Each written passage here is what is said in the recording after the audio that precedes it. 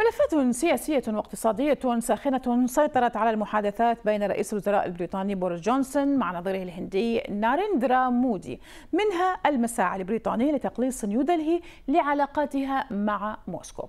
لكن بعيدا عن السياسة هذه أبرز المحطات التي زارها جونسون. البداية كما ترون كانت متعثرة بعض الشيء إلا أن جونسون استعاد توازنه سريعا. جاء ذلك عند زيارته لمعبد أكشاردام في ولاية كوجارت في غربي البلاد هذا جانب من جولته في المعبد. أما خارج المعبد فهكذا تم ترحيب بجونسون حيث تم وضع عمامة بيضاء هندوسية على رأسه.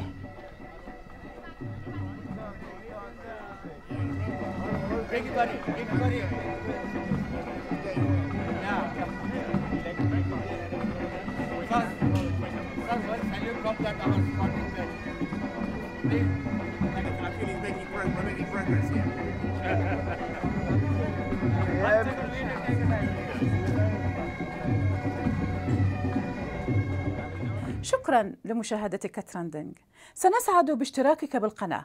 ومشاركتك لقصصنا وإعجابك بها وتعليقك عليها.